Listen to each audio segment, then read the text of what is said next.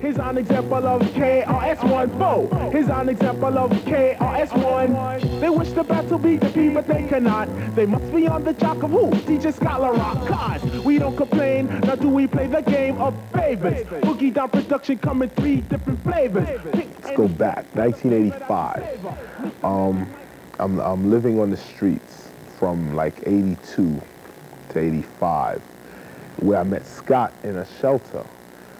So all my music is it's gonna have this dusty kind of rough like sound. And although I work in a completely computerized studio, we still revert to the dusty sound. It's like a it's like a radical, it's like I couldn't even describe my music if I tried, but it, it, it's, it's just where it comes from is basically the ghetto. It's just it's just a ghetto sound. It's what's really going on in, in the ghetto. Well, today's topic, self-destruction. It really ain't the rap audience that's bugging. It's one or two suckers, ignorant brothers, trying to rob and steal from one another. You get caught in the mid. So to crush that stereotype, here's what we did. We got ourselves together so that you could unite and fight for what's right. Not negative cause. The way we live is positive. We don't kill our relatives. Stop the violence. Self-destruction If you only knew what time it really, really is. If these kids knew what the USA does in other countries, they wouldn't fight each other not one day of their lives, not one day.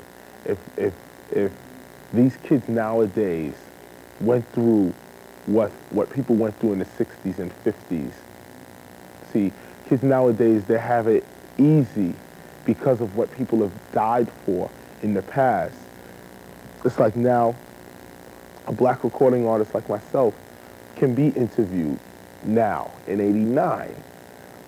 20 years ago, I would, hey, we probably would have had to come through the back door. I think, I think very deeply. In about four seconds, a teacher will begin to speak. Kids follow fads more than they do laws. So why not make the new fad intelligence?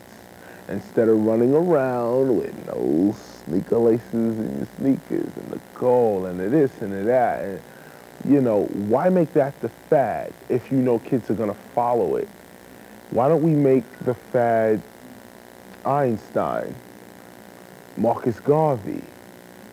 I mean, why can't they be the fad? Why does it have to be Sylvester Stallone?